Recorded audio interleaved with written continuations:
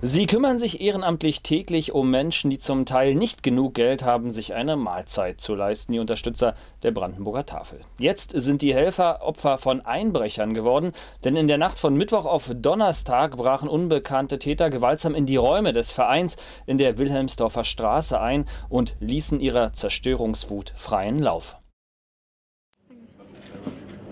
Der Schock sitzt tief bei den Mitarbeitern der Brandenburger Tafel. Trotzdem wird erst einmal weitergemacht, denn auch nach diesem schweren Schlag müssen die Bedürftigen versorgt werden. Die Einbrecher kamen heimlich in der Nacht.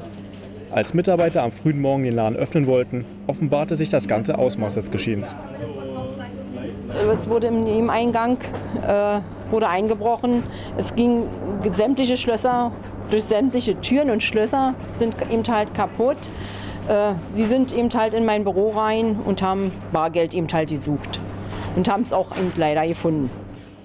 Besonders tragisch, erst drei Tage zuvor eröffnete die Tafel hier in ihren neuen Räumlichkeiten. Der Verein zog extra in die Wilmsdorfer Straße, um ein größeres Platzangebot nutzen zu können. Die Polizei hat die Ermittlungen bereits aufgenommen.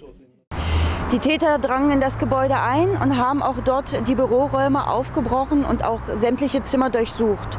Was entwendet worden ist, können wir derzeit noch nicht sagen, weil unsere Kriminaltechniker draußen sind, um eben Spuren zu sichern. Und erst hinterher können die Besitzer bzw. die Mitarbeiter schauen, ob oder was entwendet worden ist.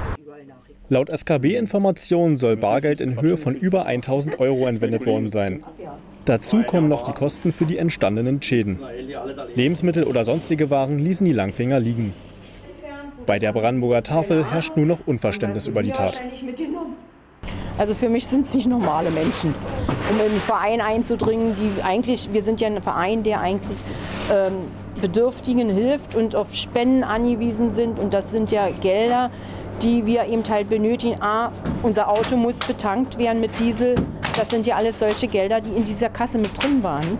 Ne? Und wenn wir jetzt keinen Sprit mehr haben, ja, müssen wir auf, weiß ich nicht, eben halt, äh, ja, uns das Geld eben halt nehmen. Ne? Die finanziellen Sorgen machen der Brandenburger Tafel nun zu schaffen. Der Verein ist dringender denn je auf Spenden angewiesen. Ja, und wenn Sie die Tafel mit Geld und Lebensmitteln unterstützen wollen, Ihre Spenden sind natürlich gern gesehen.